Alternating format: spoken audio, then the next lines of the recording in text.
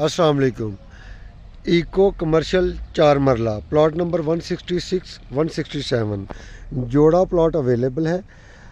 Size है चार मरला डिमांड है दो करोड़ दस लाख रुपए।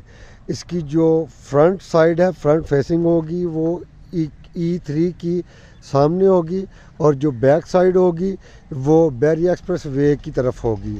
बहुत चीप प्राइस में गुड ऑप्शन अवेलेबल है। मज़ीद भी कुछ जानना चाहते हैं तो आप आ, मेरा व्हाट्सएप नंबर है इस पर आप मैसेज डाल सकते हैं कमेंट्स कर सकते हैं। आ, वीडियो देखने के लिए आपका बहुत बहुत शुक्रिया अल्लाह हाफिज़।